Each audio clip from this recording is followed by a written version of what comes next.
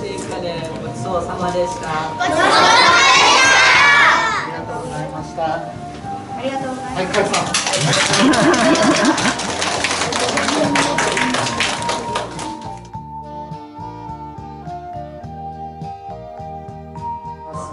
えー今日はあのうちのね浜通りチキンカレー食べてもらって、えーありがとうございます、えーお口に合ったかな？美味しいっていう声も聞聞けたしやってよかったかなっていうふうに思っています。今日はあの星先生からお願いされまして、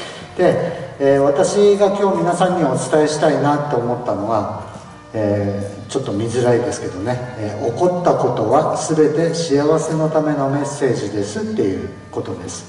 えー起こったことは全て幸せのためのメッセージ。これは僕の今宝物になってるのでちゃんとはあのこの11日だけ剥がして、えー額に入れていつも自分の脇に置いて鳥を売ってる藤田で鳥藤っていう屋号がつきました。で大正時代から恵比寿小市っていうお祭りが富岡ではやってました。でそこでラーメン